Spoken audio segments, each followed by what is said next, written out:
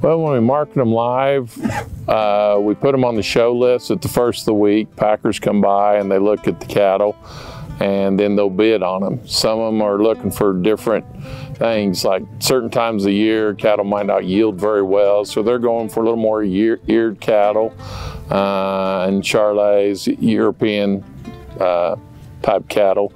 Uh, other times year where choice select spread is wider, they do the same thing. They're going after quality grade cattle. So, I mean, they're looking for more black hided cattle, uh, something that they feel that could bring a premium uh, sending to the retailer.